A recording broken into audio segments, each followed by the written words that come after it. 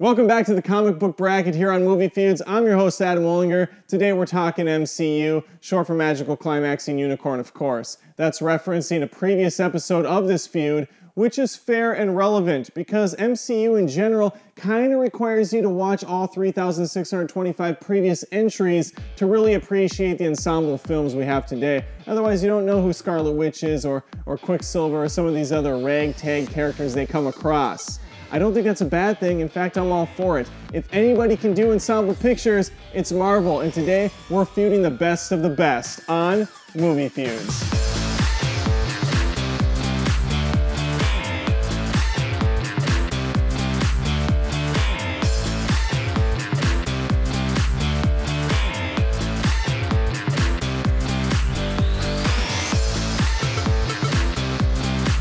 Already talked about some of these guys to the point of exhaustion in the past, so I'm going to kind of gloss over them a little bit, focus on some of the lesser knowns. Hawkeye at first was just a Legolas in present day, played by Jason Bourne 2.0, but in Age of Ultron they actually made me give a shit about him. Mark Ruffalo is fine as the Hulk. I was actually really pleased with his portrayal in the first Avengers movie, since the Hulk was more fun towards the end, but oftentimes in these films, I just find him too damn depressing. I'm not knocking Norton or Ruffalo, but something about Eric Bana just worked better for me. I know that's the unpopular opinion, but this is an unpopular channel, so it just kind of makes sense. We got introduced to Vision in Age of Ultron along with a myriad of other characters, but he really stood out to me. I, I just like his whole look, his whole presence. I don't know what it was like in the comics. I couldn't tell you a single thing about him in the comics, but he was very cool on screen for me.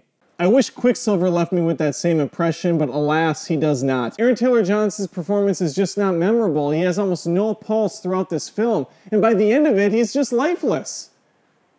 Elizabeth Olsen has driven home the fact that a short skirt and a ridiculous accent are really all I look for in a woman. Then there's my boy Bucky, aka the Winter Soldier, really blossoming into a well rounded, fun character. Tom Holland joins the roster, and although he made a great first impression, I still prefer the Tobes. But Holland could still win me over with his solo outing, stupidly titled Spider Man Homecoming, or the inevitable sequels Spider Man Summer School, or Spider Man Gym Class. Guardians of the Galaxy completed the Chris trifecta by bringing in Chris Pratt as Star Lord. The entire Guardians of the Galaxy cast is just perfect, with Zoe Saldana rocking the green instead of the blue, Dave Bautista, and the voices of Bradley Cooper and Vin Diesel. If we're talking villains, then I have the minority vote again because I think Ultron is the best of the bunch. The rest are serviceable. Zemo in Civil War had an edge due to being a regular guy instead of a god or a giant AI, but there was nothing special or unique about his character.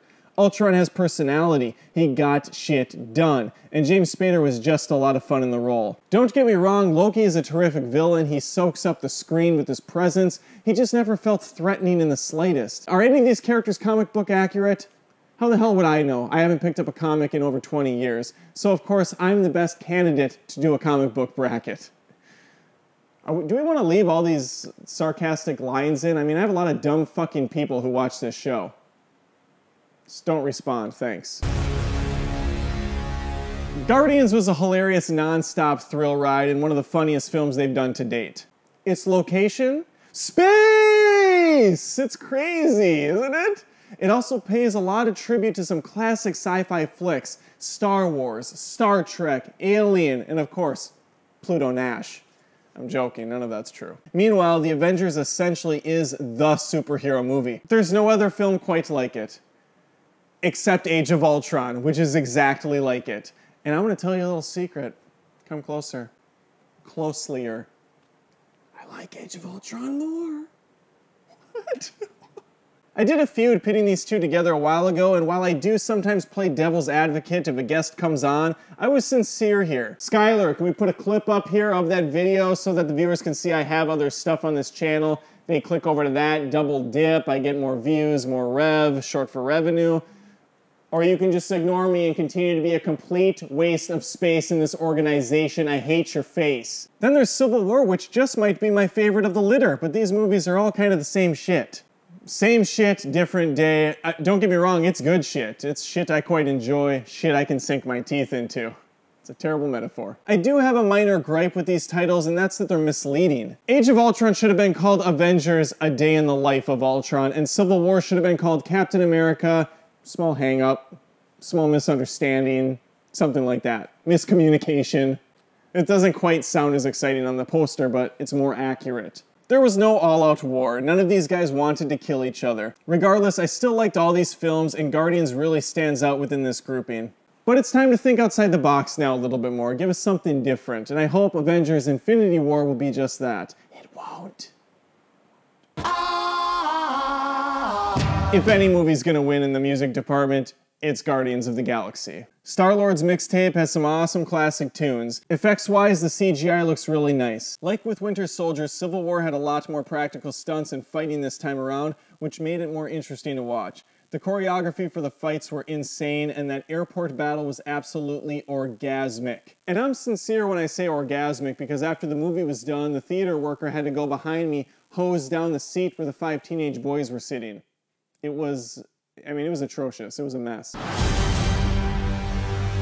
These are all good movies, okay? I don't care what you say, they're all good movies. The fact that they are able to balance out all these great characters and moments is quite impressive. If I had to pick one personally, it'd be that Guardians. However, if you pick any of these four, I couldn't really argue with you. Which is crazy because this is a show called Movie Feuds, so you'd think there'd be. a Speaking of feuds, I told you this was gonna happen if you did another comic book episode, and here we are. And there's more of me again. When when did this happen? Don't worry about it. It's on like Joss Whedon. Just came up with that.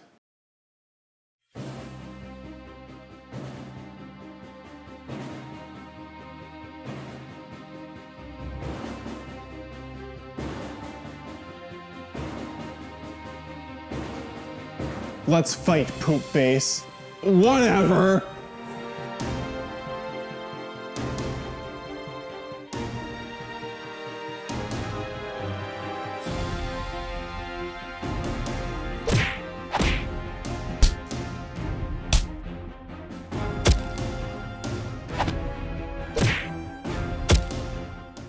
Get up! Wolverine Origins will not win. It was a joke. My fans won't let it go any longer. You failed them, Adam. You were the chosen one. I'm sorry, wait, did you just quote a line from the shitty Star no, Wars No, in the prequels? future, it's one of the most critically acclaimed movies of all time. No!